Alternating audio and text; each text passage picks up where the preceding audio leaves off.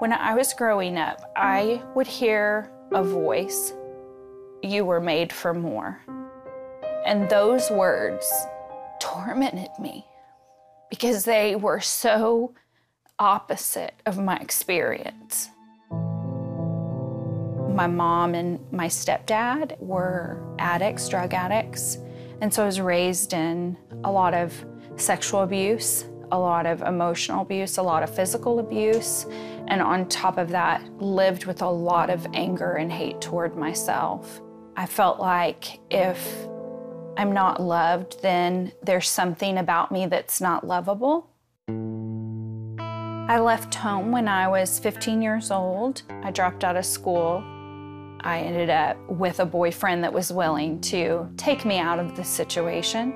And I ended up in a worse situation, but just in a different kind of way.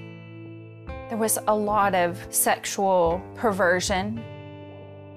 I just had no value. I had no sense of worth, but I had nowhere to go.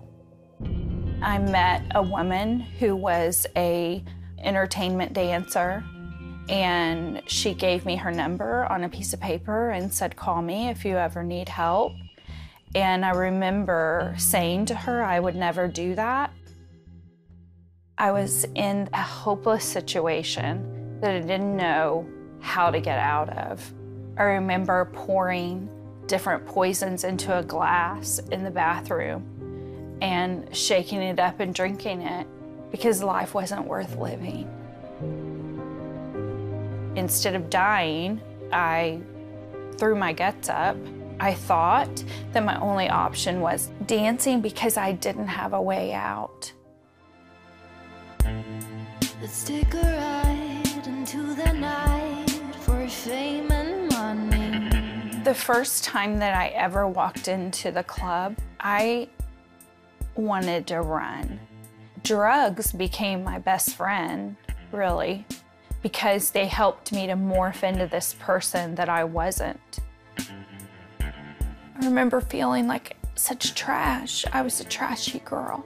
And so dancing, I really felt like I acted out and it just reaffirmed how I felt about myself. I met this guy named Aaron when I was 16 years old, and he was just a really great guy, and we began dating almost immediately. But as I was struggling at work, I had no other woman that was a normal woman to talk to, to try to understand what it was that I was experiencing.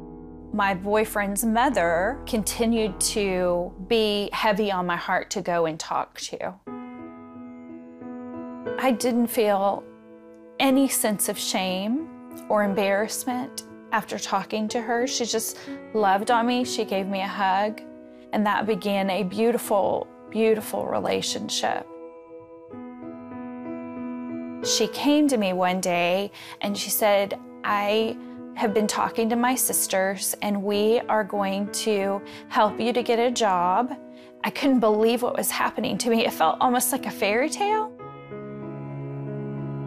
I'm working downtown Houston and feeling on top of the world. And yet, I was still the same me on the inside. It wasn't enough to fill my emptiness.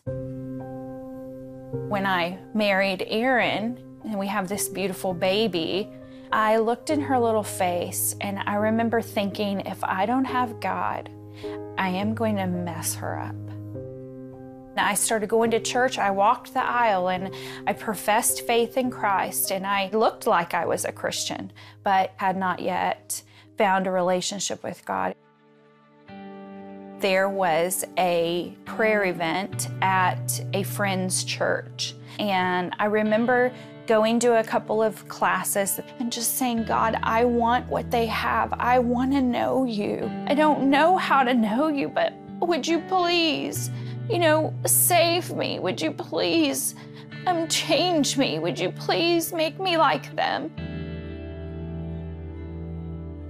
In an instant, He came rushing down on me, and I felt love like I've never known. Peace like I had never known. I'd never known peace. I felt so valued. I felt like a daughter. I couldn't put the Bible down. God began working on my heart, really helping me to work through all of the brokenness of my past. And I think that's why I love Jesus so much is he, he's given me life. And he's given me a reason to live.